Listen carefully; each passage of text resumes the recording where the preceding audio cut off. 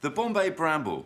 It's a modern classic first created using Bombay in the 1980s by legendary bartender Dick Bradsell.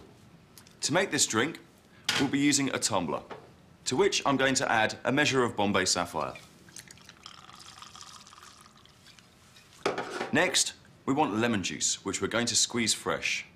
This is the juice of one small to medium lemon.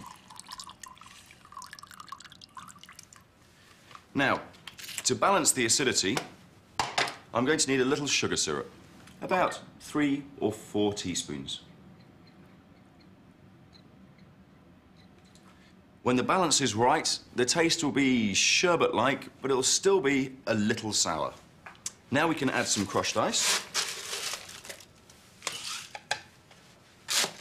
And give the drink a stir.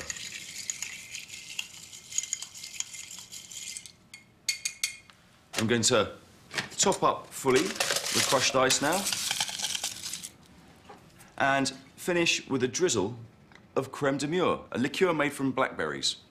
And if you watch, I love the way that this will marble gently through the cocktail.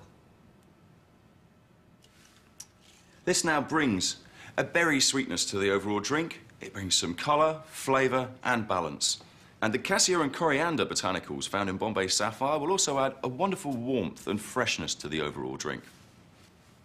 And now the traditional garnish of, if they're in season, two blackberries and a lemon slice.